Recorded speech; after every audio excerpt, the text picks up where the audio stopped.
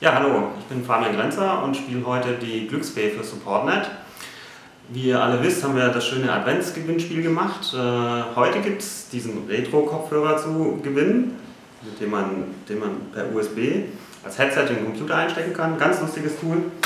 Und von Microsoft gesponsert eine Windows 7 Ultimate Version.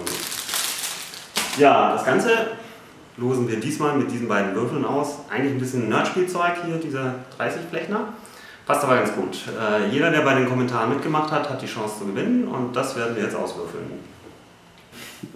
So, wir würfeln jetzt mit zwei Würfeln den Gewinner aus und zwar mit dem ersten Würfel den Tag des Kommentars und mit dem zweiten Würfel die Nummer des Kommentars. Oh, der erste Tag und der 13. Kommentar. So, wir ermitteln jetzt den Gewinner der Windows 7 Ultimate Version, die wir von Microsoft zur Verfügung gestellt bekommen haben. Zuerst der Tag. Das ist der vierte Tag und jetzt die Kommentarnummer. Das ist der zwölfte Kommentar. So, wir haben jetzt die Gewinner gezogen. Die erste Gewinnerin ist äh, vom ersten Tag der 13. Kommentar, Frau Holle. Äh, die zweite Gewinnerin, sehr untypisch für SupportNet, äh, vom vierten Tag der zwölfte Kommentar, Frau Dau.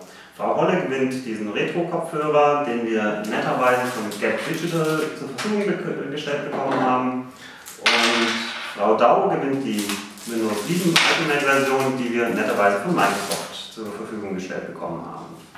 Ja, viel Spaß mit euren Sachen. Wir werden in den nächsten Tagen bei euch eingehen. Und ich hoffe, dass viele noch bei dem weiteren Gewinnspiel, Adventsgewinnspiel von uns mitmachen.